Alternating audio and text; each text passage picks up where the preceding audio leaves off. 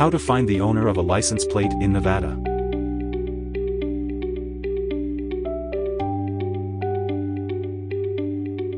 If you've ever wondered how to find out who owns a car by its license plate in Nevada, today we're sharing the legal steps to do so.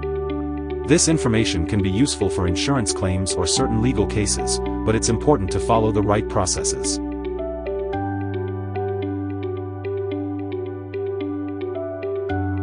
To start, let's talk about the Driver Privacy Protection Act, a federal law that restricts access to personal information based on license plate numbers.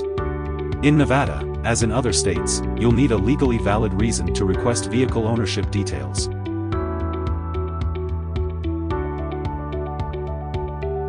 Step 1. File a request with the Nevada DMV. If you have a legitimate reason, such as a legal claim or an accident investigation, you can submit a request through the Nevada DMV. Be prepared to provide documentation to support your request, as the DMV will review it to make sure it aligns with DPPA requirements.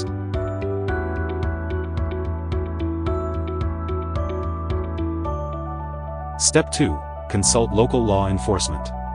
If your reason involves a legal situation, like a hit and run or suspicious activity, contacting local law enforcement is a direct and effective option.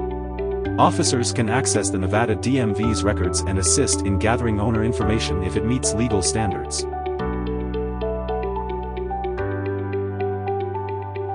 Step 3. Work with a licensed private investigator. Private investigators have access to databases and tools that the public does not, allowing them to obtain vehicle ownership information legally. They're bound by strict guidelines, so they'll only be able to assist if your reason is in compliance with Nevada's privacy laws. In summary, obtaining the owner's information for a license plate in Nevada requires a legitimate reason.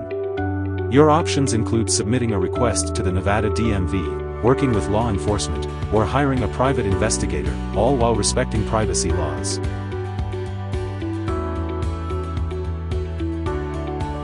Thank you for tuning in.